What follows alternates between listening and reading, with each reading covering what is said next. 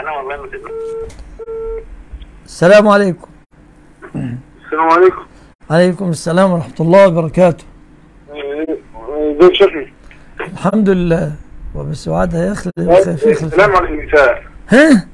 حرام لحديث رسول الله صلى الله عليه وسلم إن يضرب أحدكم بمخيط في رأسه خير من أن يمس امرأة لا تحل له. ها؟ الحديث ده اختلف وقفه ورفعه معقل بن يسار عن رسول الله ومعقل بن يسار من قوله.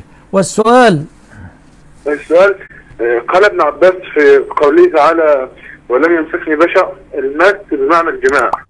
صح. ليه؟ لا لا يؤخذ معنى الجماع في في في في هذا الحديث المس بمعنى الجماع في هذا الحديث. انت عرفت الأول اللي أنا قلت لك؟ روي مرة مرفوعا على عن معقل بن يسار عن رسول الله ومرة من كلام معقل بن يسار. بغض النظر عن هذا الذي أوردت عليه الاحتمالية عائشة تقول ما مست يد رسول الله يد امرأة قط. وقال النبي عليه الصلاة والسلام إني لا أصافح النساء. ده بالنسبة للأمة اللي هي كانت أمسكت بيد رسول الله صلى الله عليه وسلم ده واحدة مجنونة يا عم الشيخ تأخذ بيد الرسول هكذا وتمشي. مجنونة كانت في عقلها شيء. طب معلش وفي رواية أخرى عامة في رواية أخرى عامة ما يستلزم المصافحة واحدة. امرأة جات كبيرة السن خدتك من مش هت مش هتب فيها كالأسد سيبي. مش هتعمل كده. فلكل مقام مقاله.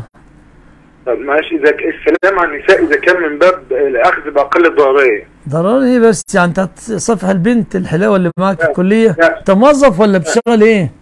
لا أنا أنا لسه طالب والله بس يعني إحنا انت طالب في زميلة لك. عايز كل يوم تصفحها وتسلم عليها و- لا. وابتسامة وضحكة و... هفهم حضرتك الموقف بس اللي حصل لي. يعني إحنا في بيئة قروية وكده إيه. فيعني أنا متربي في وسط ناس من وأنا صغير لسه في قبل أن أولد من ولدت ف آه، يقابلونا الصبيان. يعني إحنا مثلا عندها 40 سنة ممكن تاخدني بالحضن أو تبوس أو حاجة زي كده. تاخدك بالحضن؟ والله أنت يعني عايز يعني تمشي العادات دي. أنت كم سنة وهي كم سنة؟ اللي هتاخدك بالحضن دي كانت تاخدك بالحضن وأنت يعني في ثلاث سنين أربع سنين. تعال يا حمادة وتاخدك حضن وبوسه يا حمادة. الآن أنت بقيت يعني مراهق 20 سنة وهي مثلا 40 سنة تاخدك بالحضن يا حمادة في الشارع. جوزها وأولادها أنا لا اقبل هذا الكلام. فانا أنا بسألك ده بيحصل في البلاد الأرياف محترمين شوية مش كده؟ لا يعني هم المحترمين كلهم عدا الأقارب يعني. فأنا بسلم من باب دفعها عني يعني. تيجي اطول آه،. حتى ادفعها عني بحيث آه طيب اختار.